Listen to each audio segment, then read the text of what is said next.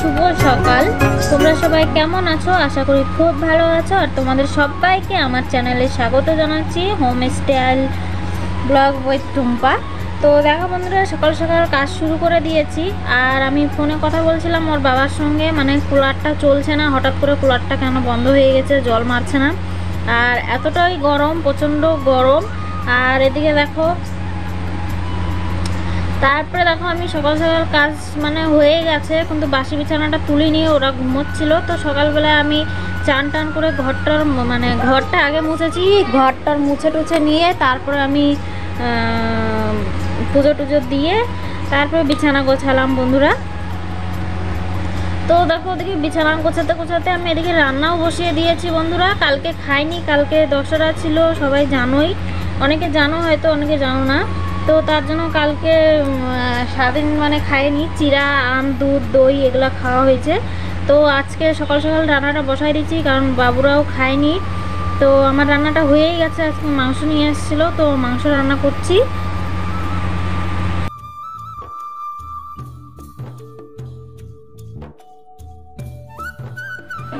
Hello সবাই কেমন আছো? আশা করি খুব ভালো আছো। আর তোমাদেরকে আমার চ্যানেলে স্বাগত জানাচ্ছি। Home style home style blog বই টুম্পা আর আমার নতুন লুকটা কেমন লাগছে বন্ধুরা অবশ্যই জানাবে দেখো। অনেকদিন থেকেই চোখের সমস্যায় ভুগছিলাম, ডাক্তারের কাছে যাচ্ছিলাম।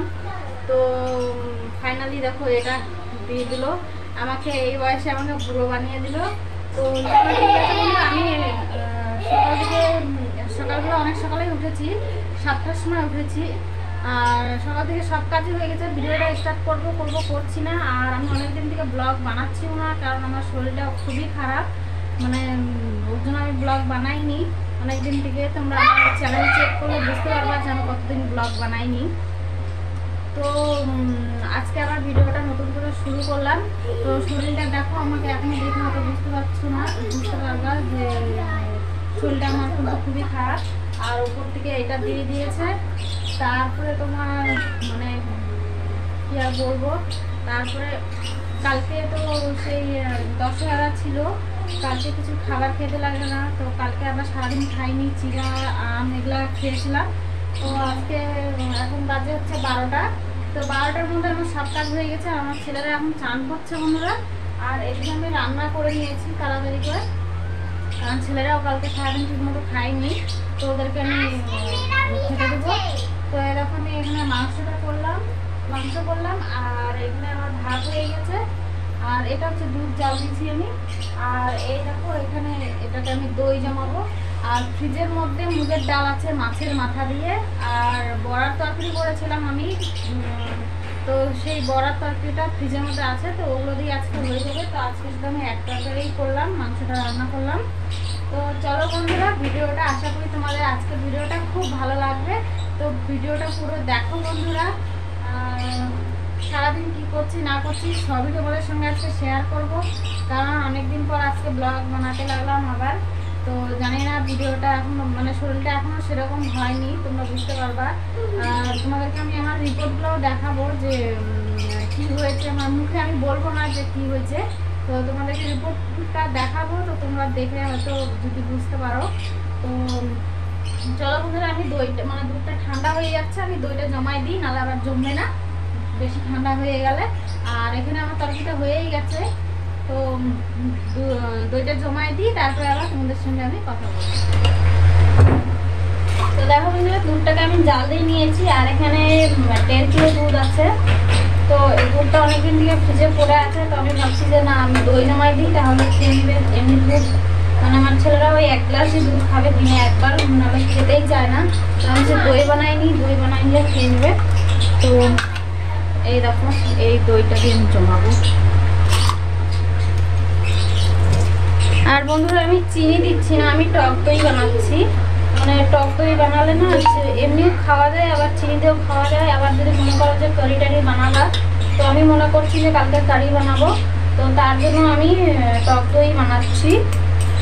তো এটাকে এখানে আমি একটু দই নিয়ে নিয়েছি। এটাকে ভালো করে একটু মিক্স করে নেব। মিক্স করে নিয়ে তারপরে আমি দইটাকে জমাবো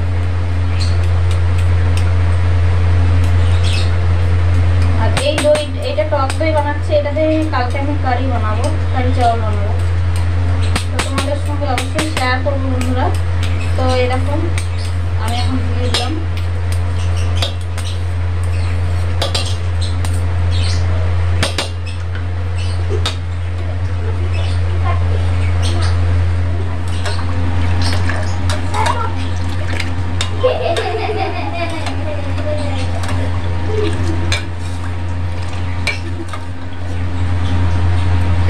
তো দেখো বন্ধুরা এটাকে এখন আমি এক এমন এক জায়গাতে রাখব যেখানে নাড়াচাড়া পড়বে না। কারণ দই বসানোর পর আবার নাড়াচাড়া করলে কিন্তু দইটা আবার ভালো জমে না। তো এটাকে আমি একটা কোনার মধ্যে রেখে দেবো। তারপরে যখন জমে যাবে তোমাদেরকে আমি দেখাবো। আজকের ভিডিওতে হয়তো দেখাতে পারব না। তো কালকের ভিডিওতে অবশ্যই দেখাবো আমি। যে এই দইটা যে আছে এটার মধ্যে আমি চিনি চিনি মিশাবো। দিয়ে ভাত খাওয়ার পর খাব এটাকে। এমনিতে টক দই এটা চিনি মিশাবো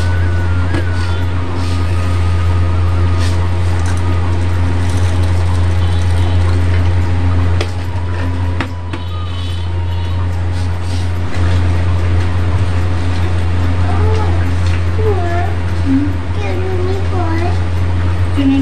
ডলের মধ্যে খাই দেখো দিয়ে ভাতটা দিই। চিনিগুলো এখনও বলেনি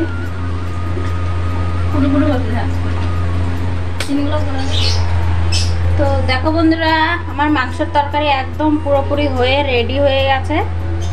দেখো।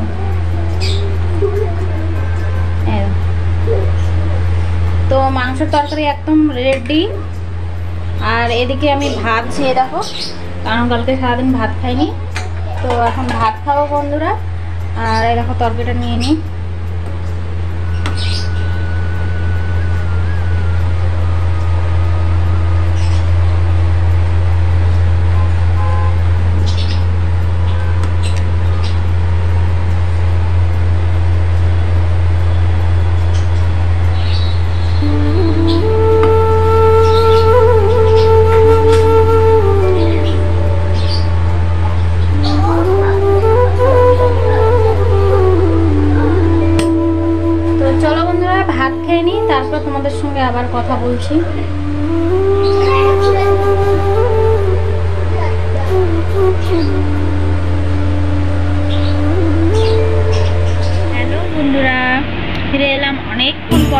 দুপুরবেলা ভাত টাত খেয়ে শুয়ে পড়েছিলাম তো একদম ঘুমিয়ে গেছি। তারপরে তিনটার সময় চেতন পেলাম আমি। উম, তিনটার সময় ঘুম ভাঙলো। তারপরে তারা- উঠে আমি দুপুরবেলা যে ভাত খেয়েছি সে ভাতের বাসনগুলো মাজিনি। তো বাসনগুলো এখন মাজলাম আর কাপড় চোপড়গুলো ধুয়ে টুয়ে নিয়ে তারপরে ঘরটাকে আমি আবার মুছলাম। মানে এত প্রচণ্ড গরম পড়ছে মানে এত পরিমাণে গরম। মানে ধারণার বাইরে। তো ভালোই লাগতেছে না গরমে। তো তাড়াতাড়ি করে ঘরটা আবার মুছলাম মানে কীরকম যেন করছে।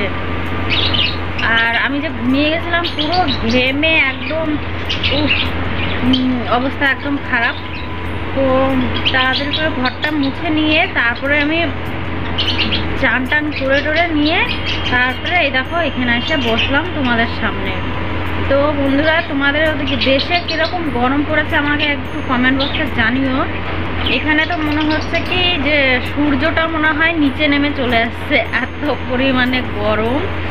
মানে ভালোই লাগতেছে না, আবার কুলারে মোটরে জল উঠছিল না আরও মানে থাকতেই পারছিলাম না এত গরম। তো আমাদের পাশের ঘরে যে বউটা, সে এসে কি করে মোটরটাকে একটু ঝাঁকিয়ে ঝাঁকিয়ে ঠিক করে দিল, তারপরে কুলারটা চলল।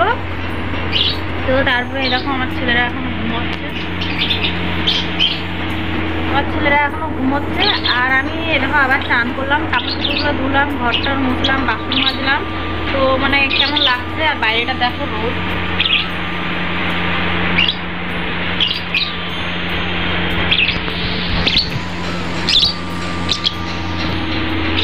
এত পরিমাণে রোদ, তোমরা কিছু দেখতেই পারবা না মানে এতটা রোদ। তো আর আমি চান টান করে দুটো চাল মুখে নিতে হয়, তো দুটো চাল মুখে নিয়েছি। আর এই দেখো ওষুধের টোপলা নিয়ে। ওষুধের টোপলা নিয়ে বসেই পড়েছি, এখন ওষুধ খাব। ওষুধ খেতে খেতে তো বোর হয়ে যাচ্ছি, সবে পনেরো দিন হলো এখনও দু মাস পনেরো দিন মানে তিন মাস ওষুধ খেতে বলেছে, তো পনেরো দিনের হলো, তাহলে এখনও দু মাস পনেরো দিন। বাবা, আর এরকম জল। তো চলো বন্ধুরা ওষুধটা খেয়ে নিই তারপর তোমাদের সঙ্গে আমি আবার কথা।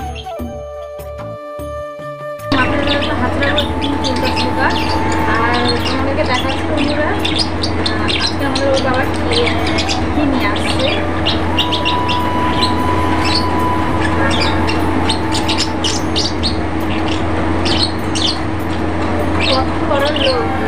গোপাল ভান্ডার। লক্ষ্মী ভান্ডারও বলে গোপালের তো আমি এটাকে গোপাল ভান্ডারই বলছি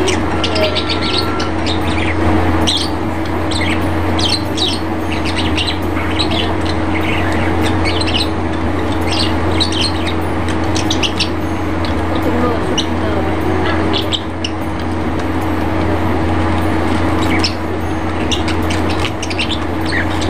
আমি ধরতেও পারছি না পড়ে যাচ্ছে এখন পুরো ওষুধ।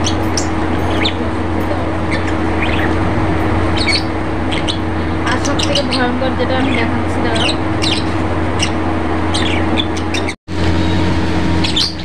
ভিডিওটা করতে করতে কেটে গেল বন্ধুরা। তো সব থেকে যে ভয়ঙ্কর ওষুধটা সেটা তোমাদেরকে আমি দেখাচ্ছি, দাঁড়াও। এই দেখো। বুঝতে পারছ এটা কি? পুরোটা বুঝতে পারবে না? তোমাকে ওটা দেখাচ্ছি।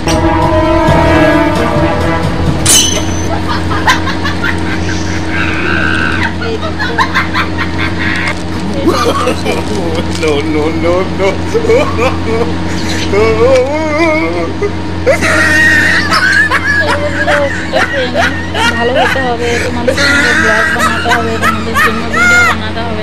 তার জন্য শক্তির প্রয়োজন সুস্থ হওয়া প্রয়োজন তাই না তো চলো ওষুধটা খেয়ে নিই তারপর তোমাদের সঙ্গে আবার কথা বলো তো হ্যালো বন্ধুরা অনেকক্ষণ পর আসলাম আবার এখানে বসেছিলাম, মাথাটা যন্ত্রণা করছিল, তো অনেকক্ষণ বসেছিলাম আর চশমাটা পরলাম, খুব যন্ত্রণা করছে মাথাটায়। তো আর সেই বারোটার সময় ভাত খেয়েছি আর এখন প্রচণ্ড খিদা পাচ্ছে। আর আমার ছোটো ছেলে দই খাইলো এখনই। আর আমি একটুখানি দেখো এটা নিয়ে নিয়েছি। তো এটা খাব আমি। তারপরে আবার সন্ধ্যাবেলা দেখি এখনও সন্ধ্যা হয়নি। ছটা পনেরো বাজে। ছটা পনেরো বাজে কিন্তু সন্ধ্যা হয়নি। দেখো তাও কীরকম ছটা পনেরো বাজে তাও এত রোদ। যখন নাও।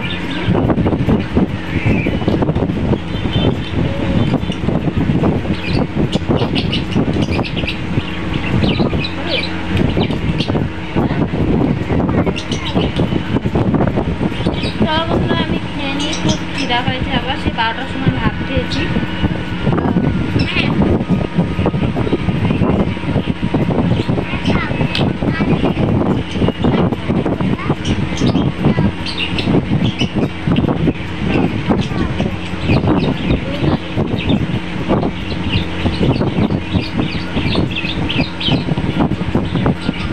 চলো বন্ধুরা আমি খেয়ে নিই তারপর আবার সন্ধ্যাবেলা চাটা করব ওর বাবা আসলে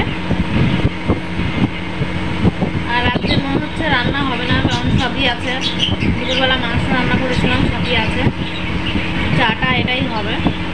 তো হ্যালো বন্ধুরা, ফিরে এলাম অনেকক্ষণ পরে। এখন বাজে তোমার সাড়ে আটটা আটটা ষোলো আটটা আটটা ষোলো বাজে এখন। তো রাত্রেবেলা কোনো কিছু রান্না হবে না। দুপুরবেলায় একবার বললাম তোমাদেরকে যে যা হয়েছে তাই দিয়ে হয়ে যাবে আজকে। তো আজকে কোনো রকম রান্না হবে না। আর এই দেখো, এখন আমরা চা খাচ্ছি। তো চাটা খায় টায়ে, তারপরে খাওয়া দাওয়া হতে হতে অনেক দেরি ওর বাবা এখনও আসেনি। ওর বাবা দুধ এনে দিয়ে গেল, আমি চা খাব দেখে মাথায় যন্ত্রণা করতেছে। তো এই দেখো, চা খাচ্ছি আমরা।